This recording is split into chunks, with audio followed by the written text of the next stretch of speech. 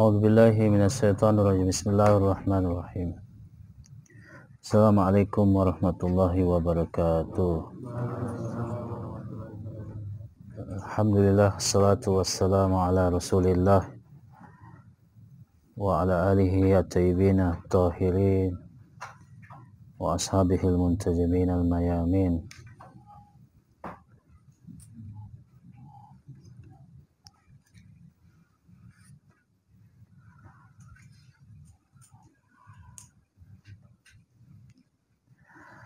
Alhamdulillah kita masuk sesi ke-53 membahas lebih lanjut tentang kausalitas dan teori-teori saintifik. Pada sesi 53 ini kita akan bahas kausalitas dan inferensi, mekanika dan dinamika. Untuk sesi ini kita akan bahas dua bagian untuk menggambarkan bahwa di dalam dunia sains dia memang bertumpu kepada kausalitas. Kuncinya kalau tidak ada kausalitas maka yang terjadi di alam ini kebetulan-kebetulan ya. Hujan itu kebetulan, panas besok tidak pasti, bisa hujan, bisa tidak. Jadi hal-hal yang kebetulan. Jadi sudah tidak laku itu prediksi musim cuaca, prediksi angin ya. Sudah tidak laku karena ya semuanya tidak punya tatanan. Tapi karena berdasarkan hukum kausalitas, yaitu keselarasan antara angin, awan, dan sebagainya, sehingga mereka bisa membuat satu prediksi atau kemungkinan-kemungkinan.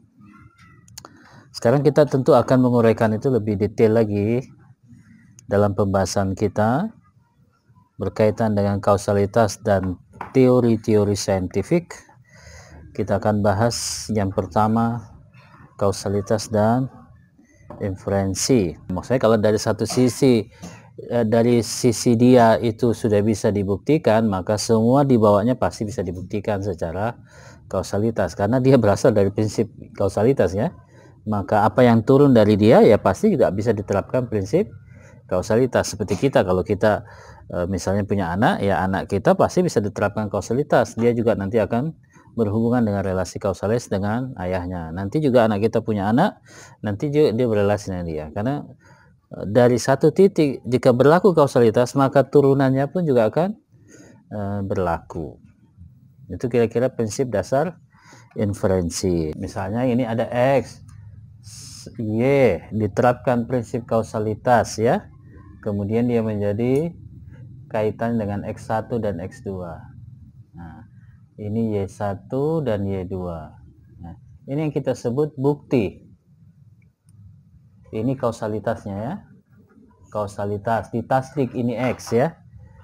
X ini ditasdik dengan prinsip kausalitas. Kemudian kita melihat bahwa X ini adalah hubungan keselarasan antara X1 dan X2 misalnya. Begitu juga Y. Jika kita tasdik dengan kausalitas kita menemukan bahwa Y itu adalah hubungan keselarasan antara Y1 dan Y2. Ini bicara hubungan ke selatan. Kemudian kita menemukan bukti ini semua. Maka semua ini juga pasti akan bisa turun. Begini terus kan ya. Nah dia turun begini terus. Nah. Kenapa? Ya inferensi begitu dari atas. Kalau dia ditas di dalam kausalitas, maka turunannya juga pasti bisa ditasdik tidak mungkin dia berhenti pada eh, hal-hal uh, atau objek-objek spesifik ter tertentu. Dia terus bisa di diturunkan. Dan itu nanti disebut uh, terus menerus ya infinitif. Muncullah dalam matematika limit tak terbatas. Ya dan seterusnya yang disebut infinitif sekarang ketika ilmiahnya sudah seperti itu, maka kita melihat kaitan logis antara X1 dengan X, kemudian X2, X1 1 dengan X1 2, X1 X1 2 dengan X1 ini sudah bisa dilihat kaitan logisnya. Bahwa karena dia diturunkan dari sebab akibat, maka dia pasti juga terkait dengan sebab di atasnya. Sudah logis kan ya? Nah, jadi kalau kita mengaitkan objek-objek tertentu dengan objek-objek lain berdasarkan bukti yang telah kita terapkan dalam prinsip kausalitas, maka pengaitan itu menjadi logis. tinggal kita bisa melakukan berdasarkan informasi terdahulu ini kita jadikan informasi ya. jika kita melihat X yang lain misalnya XX dengan keselarasan seperti ini maka ini informasi sudah bisa langsung diterapkan secara logis. Tanpa harus diturunkan lagi penerapan-penerapan ilmiahnya kan ya sudah bisa di, diterapkan. Ya yang sederhana ya seperti kalau air dipanaskan akan mendidih. Nah kita ketemu air ya dengan selaras dengan ini ya ini juga mendidih. Sudah dikaitkan secara logis. Kemungkinan ilmiahnya kan sudah tidak bisa dibantah.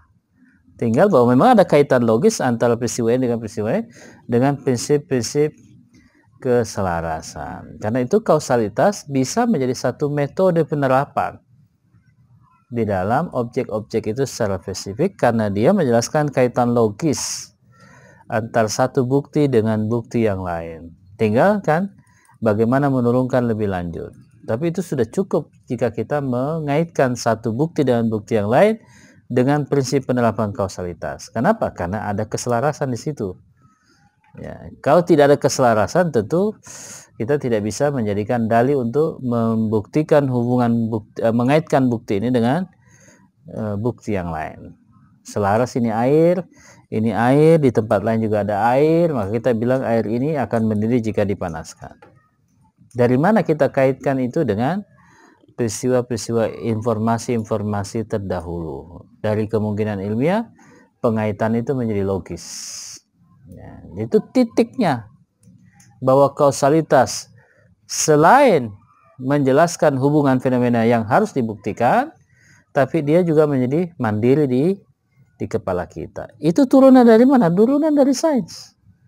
Bukan sekedar muncul tiba-tiba di pikiran kita ya turunan dari fenomena-fenomena saintifik, kemudian kita mengaitkan hubungan logis antara peristiwa tertentu dengan peristiwa yang lain. Jika dikaitkan, kita berkata logis. Kenapa? Ya, karena informasinya sudah seperti itu. Kalau mau dibuktikan, ya lakukan saja. Air dipanaskan mendidih. Kita bilang, ya secara logis sama dengan peristiwa sebelumnya kan ya. Tinggal apakah dia bisa mendidih atau tidak, ya kemungkinan ilmiahnya tidak bisa dibantah.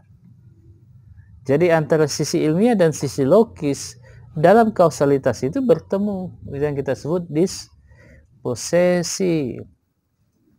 Penerapan pada kasus X, kita mengatakan X itu selaras antara X1 dan S2 dalam terjadinya X. Begitu X1 diturunkan ke bawah menjadi X11 dan X12, maka kita mengatakan ini juga pasti bisa dibuktikan kausalitas karena sebelumnya dia dibuktikan dengan kausalitas. Itu yang pertama kan? Nah, kemudian yang kedua, jika kita mengaitkan antara peristiwa-peristiwa itu dalam pengaitan logis.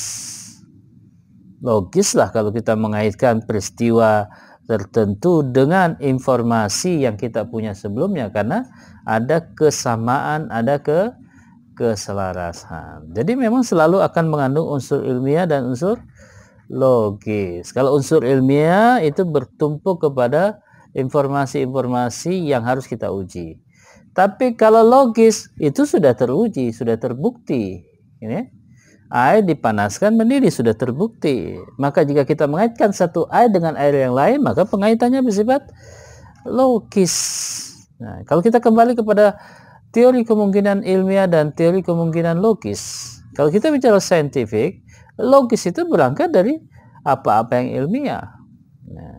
Kalau kita masuk pada metafisika, kemungkinan logis itu jika belum ada buktinya maka kita bisa mengaitkan secara logis. Tapi ada kemungkinan yang bisa kita kaitkan sudah ada pengalamannya. Maka logis saja kalau kita kaitkan pada peristiwa-peristiwa ke depan. Karena sudah ada bukti-bukti yang menunjukkan bahwa misalnya ada kerusakan, ada gempa bumi, ada banjir ya. Ada serangan virus seperti ini sekarang ya. Itu kan sudah menjadi logis saja bos menjelaskan bahwa akan ada kehancuran manusia, kerusakan itu logis saja berdasarkan bukti-bukti yang tersedia. Jadi kalau ada validasi dari bukti-bukti itu secara ilmiah, maka kita pasti punya kemampuan untuk mengaitkan secara logis antara peristiwa yang sudah terjadi dan peristiwa yang akan terjadi. Karena itu sains pasti juga bersifat masa depan. Sains juga bersifat punya kemampuan merumuskan alam ini ke masa depan seperti apa. Nah, yang disebut prediksi-prediksi para ilmuwan ya tentang alam, misalnya efek rumah kaca. Kan kita tahu bahwa bagaimana efek uh, global uh, uh, climate change perubahan iklim, ya, global warming, pemanasan global. Orang bisa melihat bahwa bumi ini seperti ini. 2040 di, dikabari secara ilmiah bahwa Jakarta itu akan kekurangan air. Ya, kalau kita hidup lagi sampai 2050 bisa jadi kita sudah krisis air berdasarkan maka logis mengaitkan krisis ini dengan peristiwa-peristiwa yang akan terjadi di masa depan bahwa orang akan kesulitan air. Secara saintifik harusnya sudah di, dipersiapkan dan sudah harus di misalnya dihentikan upaya-upaya yang merusak ekosistem ini misalnya dengan tanaman-tanaman sawit ya. Karena itu merusak tanah katanya ya. ya dan seterusnya dan seterusnya. Jadi kalau kita bicara pada posisi yang terakhir dalam kaitannya dengan inferensi ya, apa yang diturunkan, orang pertama tidak mungkin mengingkari uh, bukti. Tidak mungkin bisa mengingkari ya. Uh, karena ilmiah. Artinya ketika apa yang secara ilmiah diterima dan tidak diingkari, maka turunannya harusnya tidak diingkari lagi. Ya, tinggal ada pengembangan-pengembangan. Seperti teori-teori fisika ya. Fakta-fakta atom itu tidak pernah diingkari. Cuma akhirnya menemukan sub-sub A atomik yang lain, menemukan bukti-bukti baru bahwa atom yang sebelumnya itu masih terdiri dari beragam uh, subatomik di bawahnya, tapi tidak diingkari. Ya, malah dia berkembang dengan hal-hal yang baru di wilayah uh, subatomik. Yang kedua, kausalitas sebagai sesuatu yang bersandar kepada segenap aktivitas atau hukum di alam ini, maka ketika dia harus berusaha mengingkari prinsip ini dengan mengambil bukti tertentu, dia tidak akan bisa percaya bahwa yang apa yang dijadikan sandaran adalah hal yang mumpuni untuk mengetahui kesalahan prinsip kausalitas. Jadi kalau dia menemukan bukti untuk mengingkari kausalitas, tidak akan pernah secara mumpuni, mumpuni dia menegasikan kausalitas. Kenapa? Karena penerapan itu, pengingkaran itu juga dibentuk atas dasar penerapan hukum kausalitas. Tidak mungkin keluar dari hukum itu. Termasuk yang mengingkarinya dia harus terikat pada pada hukumnya. Bisa terjadi eh, model-model pengingkaran Eh, terhadap realitas. Tapi kalau sudah terbukti secara spesifik maka tidak mungkin dibantah secara keseluruhan. Minimal itu ya. Bagian per bagian mungkin bisa dibantah, tapi secara keseluruhan tidak bisa dibantah. Artinya tidak ada yang bisa mengingkari realitas saintifik. Itu yang kita uh, beri catatan tentang uh, inferensi dengan catatan yang terakhir itu bahwa apa yang kita jadikan bukti sebagai sandaran harusnya kan adalah sesuatu yang sangat mumpuni. Karena dia bisa melihat apa yang terjadi dalam penerapan kesalahan di dalam uh, prinsip kausalitas. Ya itu dengan pengetahuan yang kita miliki berdasarkan bukti-bukti. Ya, kalau kita lihat urutannya kira-kira seperti ini inferensi ya. Kita sedang ingin merumuskan apa sebenarnya dimaksud inferensi. Kita buka dulu bahasa kamus arti harfiah inferensi ya. Lupa saya baca.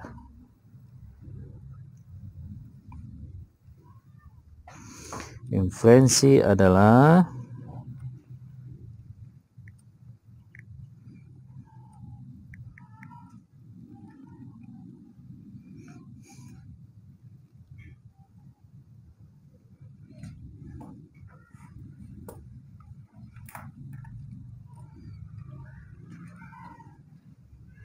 Inferensi ini dalam definisi ilmu statistik. Kita pakai definisi ilmu statistik berhubungan dengan analisa sebagian data atau bukti-bukti yang kita punya ya.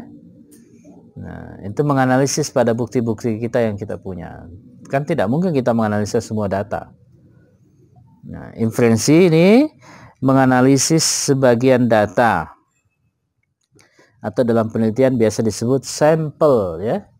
Tidak semua yang mengatakan e, berapa persen orang Jawa atau orang Bugis begini. Nah, itu namanya dia menguji itu penilaiannya berdasarkan sampel. Nah, sampel itu kan tidak berkaitan dengan kesemuanya. Namanya juga sampel, sampling ya. Mengambil beberapa saja, tidak semuanya kan ya. Itu metode ilmiah.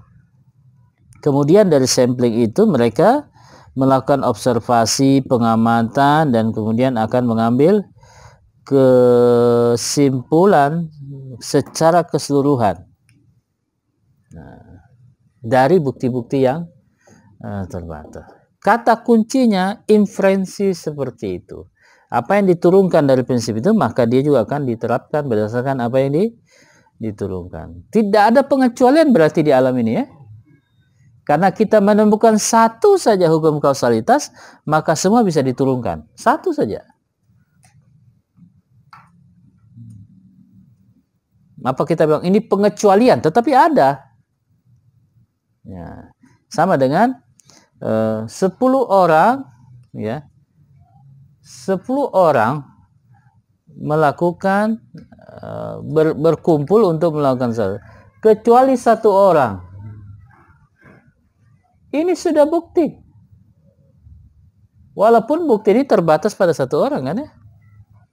ya jadi 99 eh, eh 99,9 persen orang eh, 99,9 persen eh, orang yang eh, melaut itu kira-kira begitu mabuk misalnya satu saja kita temukan bukti tidak mabuk, ya satu saja, maka dia bisa menjadi kekuatan dalam pembuktian prinsip kausalitas. Karena kausalitas tidak bertumpu sebenarnya kepada penilaian-penilaian kuantitatif. Berarti dari situ bisa diturunkan 99-nya koma uh, katakanlah 99,9 persennya uh, mengatakan tidak bisa satu persen bisa mengatakan bisa, eh maaf 0,1 persen bisa, maka ini jadi bukti. Ya. Maka pada tingkat tertentu orang tidak menerima bukti, tapi pada tingkat tertentu di mana dia menjauh dari eh, apa namanya hal yang menjadi prinsipil, maka dia juga bisa berlangsung hubungan kausalitas yang lain. Ya, dalam ruang yang berbeda atau dalam tempat yang berbeda. Jelaslah bahwa demonstrasi apa pun bergantung kepada prinsip kausalitas. Satu ke, dua ke, tiga ke. Karena kausalitas ini saya kan. Bukan diukur dari seberapa banyak yang bisa dikausalkan dan seberapa banyak yang tidak bisa. Dia tidak seperti itu. Dari rangkaian semua misalnya 10, sembilan belum kita temukan keselarasannya, satu kita bisa turunkan, maka itu satu kita temukan keselarasannya, maka itu sudah bisa diturunkan ke mana-mana. Karena dia tidak berkaitan dengan representasi uh, kuantitatif. Lebih apakah secara logis kita menemukan kaitan-kaitan perbuatan itu, akibat-akibat perbuatan itu dengan sebabnya. Jika kita menemukan keterkaitan itu, sudah cukup jadi bukti. Walaupun cuma satu. 99 persennya tidak begitu, tapi satu sudah me membuktikannya. Seperti Nabi Shallallahu Alaihi Wasallam. Orang pada umumnya tidak mengenal melihat Tuhan, tapi Nabi dalam peristiwa Mi'raj bertemu dengan Tuhan. Maka gugurlah orang mengatakan bahwa Tuhan tidak bisa ditemui. Gugur.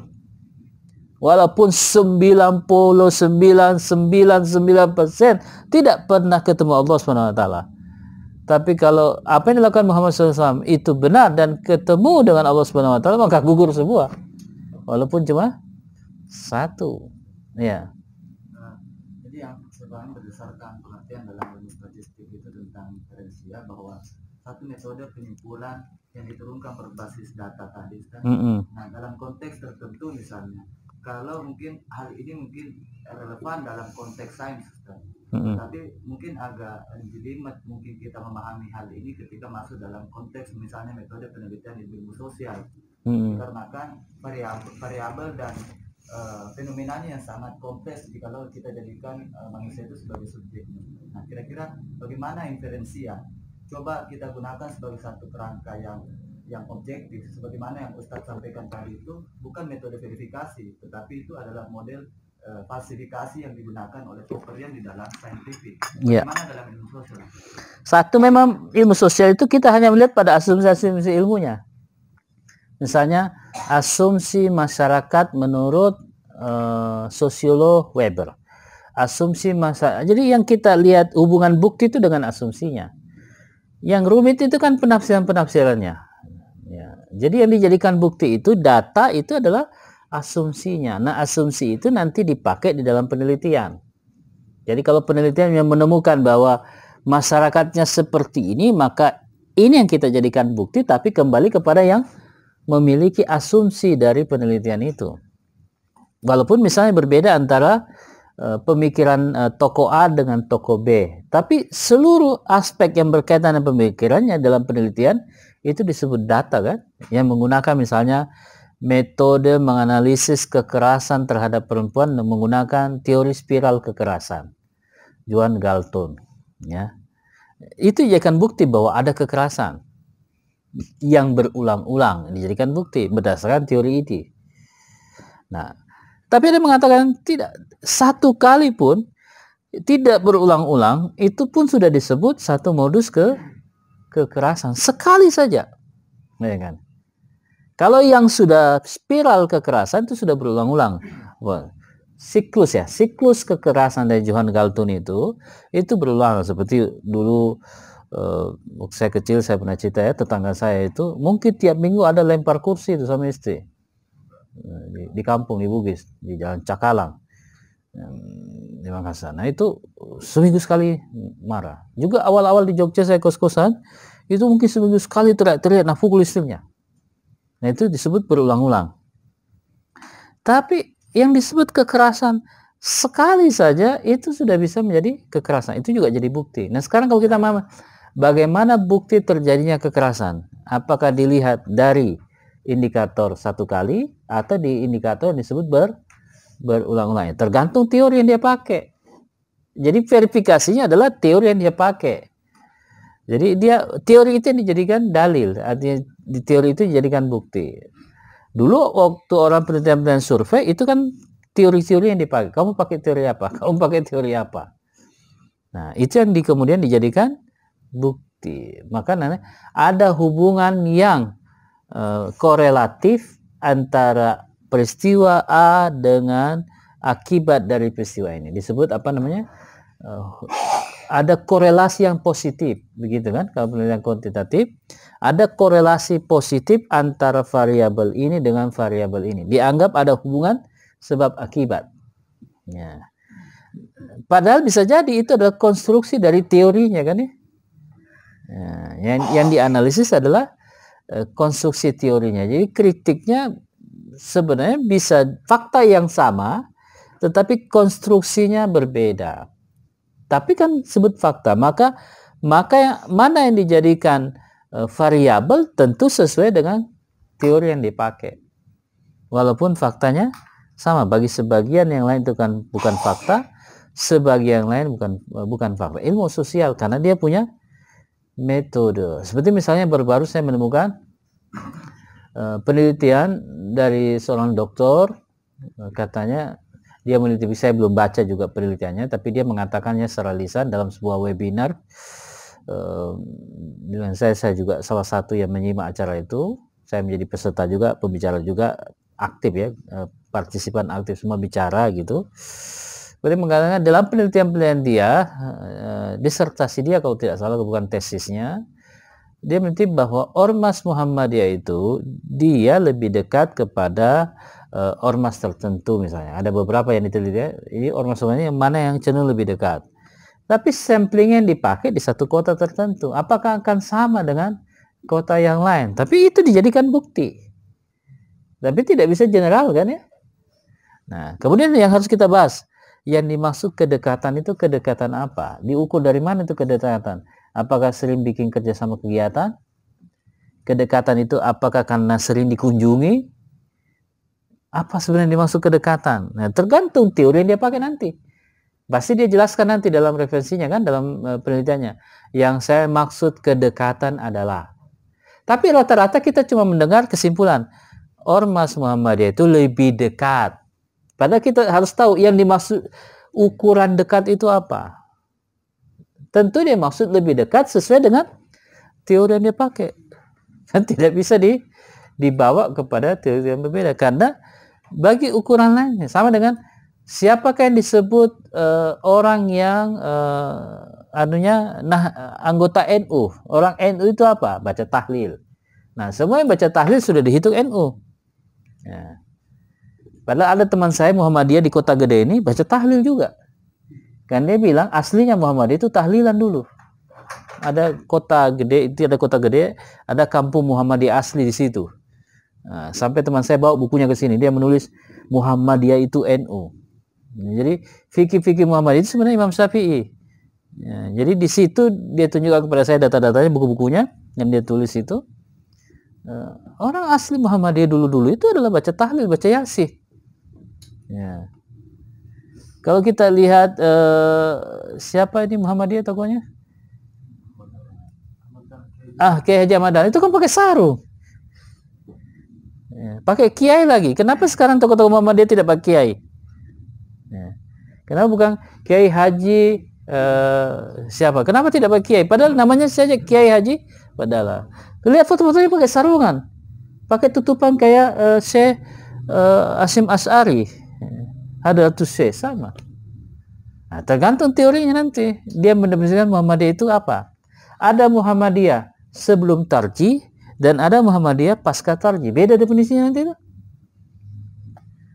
Nah, maka melakukan kritik itu dilihat pada asumsi-asumsi teorinya. Itu kita sudah bahas kan? Nah, di ilmu sosial hanya begitu yang bisa kita acuh hanya pada asumsi. Beda kalau saintifik mau apa asumsinya? Fakta fisiknya ada kan? Ada wujudnya itu. Nah, makanya mau ilmu sosial itu 10 orang 10 pandangan. 20 orang 20 pandangan. Sering melelahkan ya. Karena gesekan interpretasinya kadang susah diikuti. Ini sebenarnya apa dia bilang ini? Ya satu-satunya jalan adalah menjelaskan teorinya orang. Nah, menjelaskan teori bisa beda-beda lagi sudut pandangnya. Nah, kalau saintifik ada barangnya, ada bukti fisiknya, ya, dia diukur di situ. Nah, tinggal nanti bagaimana apa namanya dia mendefinisikan disebut panas, suhu. Misalnya ada suhu dengan derajat Celcius, ada suhu dengan derajat Fahrenheit kan ya. Nah, itu tetap saja bisa di diubah dari Celsius ke Fahrenheit bisa di didekatkan. Dia tidak menjadi dua sudut pandang karena bisa di diubah. Saya lupa rumusnya itu dari derajat Celsius dirubah menjadi derajat Fahrenheit dikali berapa itu kan ya kalau tidak salah. Derajat Celsius dikali derajat Fahrenheit. Biasanya begini. Derajat Celsius sama dengan titik-titik derajat Fahrenheit. Biasanya begitu. Jadi ada angka pengalinya supaya dia sama. Oke, selanjutnya. Dari pembahasan ini kita melihat bahwa apa yang diturunkan dari prinsip kausalitas secara inferensi berlaku semuanya. Yang sudah bisa diturunkan dari kausalitas, maka semuanya bukti-bukti itu bisa diterapkan. Ya bahkan sebelum kita membuktikannya pun juga karena kita menggunakan informasi terdahulu maka logis kalau kita kaitkan satu bukti tertentu dengan peristiwa tertentu yang akan kita teliti. Ya. Itu inferensi. Secara fisika saya kira juga eh, sebagaimana dalam perkembangan teori atom tidak pernah dibatalkan prinsip atomnya, tetapi justru diuraikan lebih spesifik ya. Ya, lebih spesifik dari atom, subatom, subatom dibagi neutron, elektron, eh, proton. Nah, proton nanti dibagi lagi. Nah, um, uh, neutronnya bisa dibagi lagi dan seterusnya dibagi. Jadi tidak ada yang digugurkan. Jadi kalau begitu kausalitas itu apa? Membangun konsistensi di alam ini ya. Tidak ada yang keluar dari asas itu. Kalau apa yang diturunkan dari kausalitas, nah dia tidak bisa diterapkan kausalitas berarti ada yang salah. Semua yang bisa disifati kausalitas atau sesuatu yang bisa diterapkan prinsip kausalitas, maka semua turunannya bisa diterapkan. Karena sudah ada penerapan pertama kan ya? Tidak bisa ada pengecualian. Ya. Dalam prinsip dalam uh, analisis kausalitas. Adapun efek dari fenomena-fenomena itu bisa diabaikan pada kasus tertentu tidak bisa diabaikan. Tapi diabaikan atau tidak tetap berlaku prinsip kausalitas. Itu sederhana yang kita sebut inferensi ya. Ya, segala uji coba demonstrasi dalam lingkup pemikiran manusia sudah pasti menggunakan kausalitas. Kemudian eh, demonstrasi dengan bukti-bukti untuk satu hal tertentu berarti bukti-bukti itu uh, masuk akal untuk kasus yang sudah diterapkan. Kemudian sebab dari pengetahuan-pengetahuan tersebut menjadi objek apabila kita membuktikan satu kebenaran tertentu dengan satu eksperimen maka hukum filsafat atau persepsi indawi berusaha memiliki bukti sebagai alat pengetahuan dari kebenaran tadi. Jadi bukan Anda bukan karena prinsip kausalitas dan hukum keniscayaan kemudian begitu saja kita bisa Eh, apa namanya mengambil satu kesimpulan-kesimpulan yang tidak diturunkan dari prinsip kausalitas. Tetap harus ada data menunjukkan bahwa ini diturunkan dari sini. Baru kemudian kita bisa mensifatkan. Kita cuma ini pasti bisa diterapkan prinsip kausalitas yang menurut akal kita. Tapi kita harus tahu ini kaitannya dengan yang sebelumnya kan ya. Tidak nah, bisa kita terapkan kalau kita tidak tahu sebelumnya. Jadi informasi terdahulu atau pengalaman terdahulu mengandung di dalamnya kausalitas. Tinggal kita menguji yang mana kan? Maka pastilah hal-hal yang kita analisa ini punya kaitan dari informasi terdahulu. Tinggal kita uji yang mana. Ini diturunkan dari dalam filsafat sejarah. Sejarah itu kontinu Kenapa? Terkait dengan sebabnya di masa lalu dan akibatnya di masa depan. Kata pakai sadar sejarah itu kontinu. Kalau sejarah itu kontinu, maka dia berdasarkan prinsip-prinsip realis. Karena semua yang diturunkan pasti memiliki sesuatu yang bisa disifatkan pada yang uh, sebelumnya. Bisa dimengerti? Inferensi. Ya, silakan.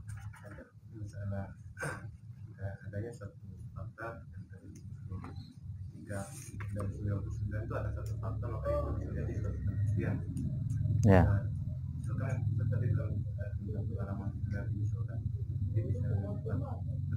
ya tapi kan kalau kausalitas digunakan dengan satu bukti bahwa banyak orang punya pengalaman tertentu itu dia bisa diturunkan masalahnya nanti dia bertentangan dengan uh, dia tidak bisa dijadikan suatu keniscayaan bahwa semua orang akan bisa pengalaman yang sama dengan Ya itu kan masalah bisa atau tidak bisa, tapi faktanya ada yang bisa. Ya kan? Itu nanti masalah usaha, masalah usaha. Kalau kita tidak bisa, memang saya juga meragukan diri saya bisa.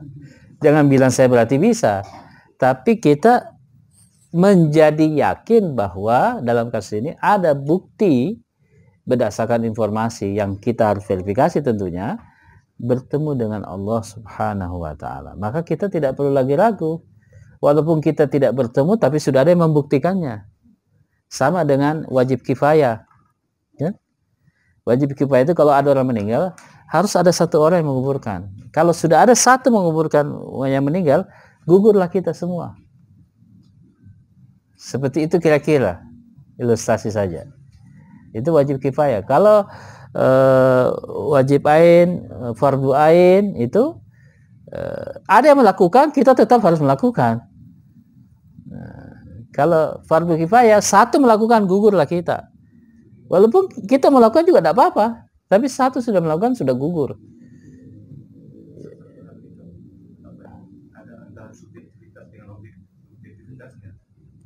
Oh itu nanti kita terapkan pada ap apakah ini bisa kita buktikan buat kita. Buat kita tetap itu subjektif. Ya, Nabi sudah meletakkan nilai objektifnya, kita belum.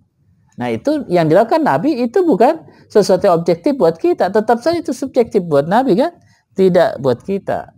Tapi itu informasi membuktikan bahwa ada orang yang bisa ketemu dengan Tuhan. Terbukti itu. Ya.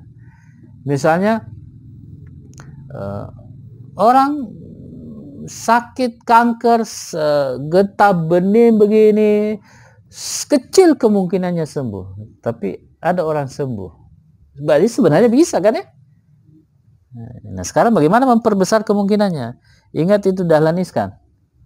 Oh, itu sudah kankernya stadium tinggi. Tapi dengan izin Allah dia sembuh. Dan dia merasa nanti nonton di YouTube di Google dia, dia merasa saya diberikan nyawa kedua. Padahal penyakit seperti itu kecil kemungkinannya sembuh. Tapi bisa. Oh, berarti itu masalah kemungkinan berdasarkan pengetahuan saja kan? Ya. Jadi kalau begitu jangan turunkan kepastian pada 99%. Bangun juga optimisme, ada orang sembuh.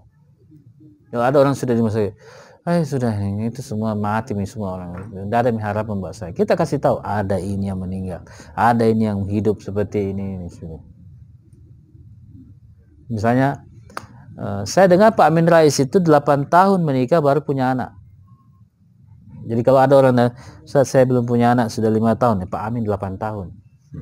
Kan betul kan? Bisa jadi bukti kan? 8 tahun baru dia punya anak. Nah kalau dia bawa data 10 tahun, 10 tahun Ustaz, ya sudah saya tidak punya bukti itu. Yang penting syarat ilmiahnya terpenuhi. Uh, apa sakit apa tidak, mandul oh tidak, berarti tetap ada kemungkinan. Jadi satu saja sudah bisa diterapkan bahwa kausalitas berlaku. Kenapa di sini tidak berlaku ya? Karena kita harus mencari Itulah pengetahuan kan ya? Dia membuka ruang pengetahuan. Kita tidak bisa ditutupi oleh kasus-kasus yang gagal, tapi satu berhasil. 99 kalau kau dekat itu 99 ditolak. Ya, saya mau coba yang satu persennya. Misalnya begitu kan bisa. Ya. Berarti di sini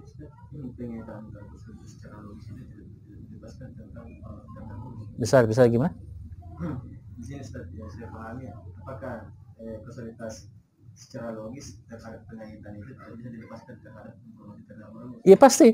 Tidak bisa dilepaskan. Maka kita terus harus memperbanyak data. Memperbanyak data memperkaya informasi. Berarti informasi terdahulu sebagai bukti keberlanjutannya itu bahwa logis bahwa orang bisa sembuh itu logis karena ada informasi terdulu Walaupun ini sudah kecil kemungkinannya, dokter bilang sudah puas 6 bulan, tetap tidak bisa. Karena ada faktanya yang sembuh. Ya, ada faktanya. 99% penyakitnya Pak uh, uh, sama namanya Dahlan Iskar itu meninggal. Kanker getah bening. Stadium tinggi kan ya? Itu biasanya kata orang kecapean, biasanya karena terlalu banyak sedot apa namanya eh, vitamin-vitamin pengawet eh, minum-minum kurang tindeng ya dan sebagainya. Biasanya supir-supir itu paksa minum begini. Kecil kemungkinan tapi ada yang sembuh. Nah ada yang sembuh menjadi bukti bahwa ada kemungkinan kausalitas hubungan antara obat ini dengan sembuhnya seseorang. Jadi tidak ada orang pesimis dalam dunia sains. Tidak ada. Kalau orang sudah kemoterapi, waduh sudah kecil kemungkinan panjang umurnya ya. Kalau sudah kena, begitu kan yang kita dapatkan? The. Hmm. Tapi ada orang yang bisa sembuh. Terdahulu harus kita pegang sebagai data untuk kita jadikan dalil kalau ada yang membantah tidak secara logis masih ada kemungkinannya secara ilmiah dia bilang kemungkinannya kecil kan begitu ya katakanlah 99,9 persen itu kemungkinan kecil untuk selamat. Tapi 0,01 persen itu masih logis untuk kita pertimbangkan. Karena ada 0,01 persen itu sembuh. Nah, optimis, sulit. Bahwa kita sekarang ini tidak yakin bisa mencapai seperti Nabi, saya mungkin bisa katakan saya yakin tidak bisa capai itu. Tapi secara pengetahuan bisa. Kita kan bicara pengetahuan. Kalau kita ya bicara kotor. Saya ini kalau urusan bicara personalitas, ya saya cuma bicara kotor. Yang bicara bersih itu di pengetahuan kan ya. Kita ini bagian bicara kotor saja. Maksudnya bicara kotornya ya kita juga seperti kata Sula itu realistis. Kecil kemungkinan. Tapi kita tidak boleh kehilangan harapan kan. Maka kita terus belajar, maka kita terus berusaha.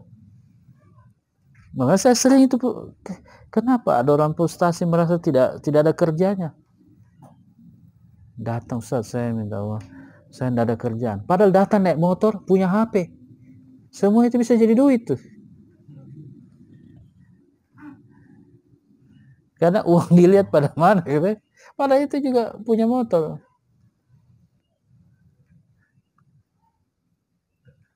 Dan terusnya. Memang kalau kita bicara objektifnya untuk kita ya kecil kemungkinan. Tetapi jangan bicara tidak ada kemungkinan. Karena masih berlaku hukum kausalitas. Nah sisa apakah kita mau membangun dasar-dasar tercapainya itu? Nah kita harus memberi banyak informasi banyak data.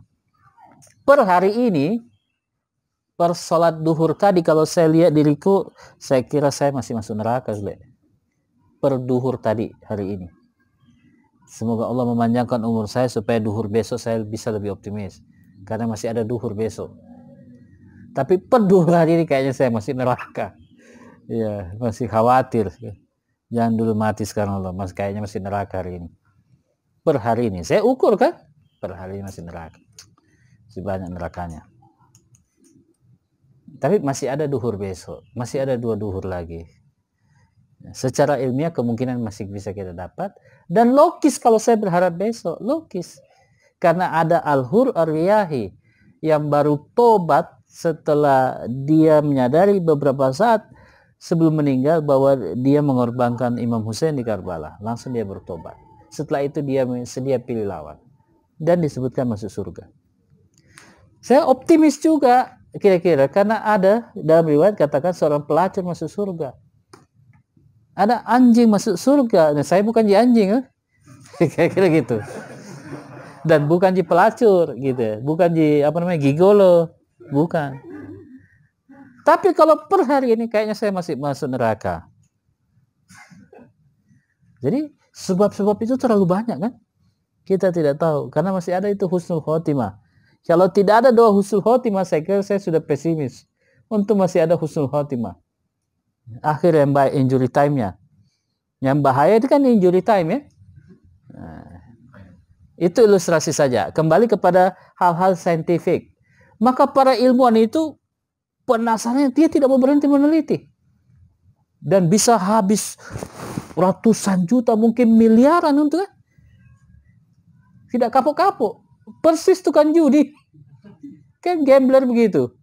Kalau kita lihat film-film judi Cina itu bisa kasih dorong lagi uang. Penasaran dia kasih dorong lagi uang.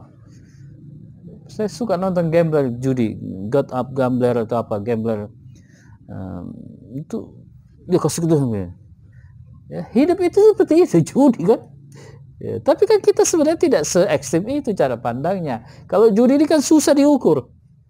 Ya apalagi kalau judi-judi Cina macam-macam tekniknya kan tapi kalau kita bicara ilmiah lebih mudah diukur maka walaupun per hari ini saya merasa masih jauh dari Allah Subhanahu wa taala, tapi saya masih optimis. Ya, saya tidak karena masih ada harapan. Maka bagaimana saya bisa menjawab optimisme ini? Satu, dua. Tiap hari kita sebenarnya muhasabah. Hati-hati lewat satu hari lagi nih. Tahu-tahu besok sore, malam lagi sebentar ini. Supaya hati-hati. Ya, hati-hati. Jangan sampai besok yang kita disiarkan innalillahi wa inna ilaihi rajiun. Apalagi ucapan saya kalau kena saya, ih barusan Ustadz kemarin innalillahi, dia sendiri sudah innalillah. Misalnya kan itu bisa waliyatubillah min zalik. Kita tidak tahu. Nah, masalah kita itu nanti pembahasan jaksiologi. Ada di agendanya itu. Sesi 401 sampai sesi 500. Bagaimana kita seperti yang kita bicara ini. Nah, dibikinlah logika tindakan untuk sampai ke tahap itu. Ya.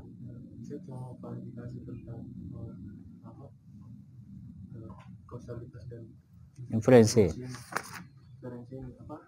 Yang saya tangkap dari Ustaz bahwasanya ada seperti pengelompokan tentang bukti-bukti yang terdapat pada sebagian uh, tempat atau yang coba diverifikasi atau observasi itu apakah bentuk penyimpulannya itu secara logis atau secara ilmiah Ustaz? Kalau ilmiah itu kita sudah punya data antara yang kita observasi dengan yang pengalaman terdahulu. Kalau logis kita belum meneliti, cuma bisa mengaitkan secara logis. Bukti-bukti? itu kita bisa meletakkan satu prinsip bahwa semua yang diturunkan bukti-bukti sebenarnya bisa diterapkan prinsip kausalitas. Cuma kita belum menemukannya. Kalau kita sebar seperti ini misalnya. Ini kita turunkan X1, X2, Y1. Nah, X, Y, Y1, Y2 ini bisa berkaitan, eh, X2, maaf, bisa berkaitan dengan kausalitas pada Y2. Itu inferensi namanya.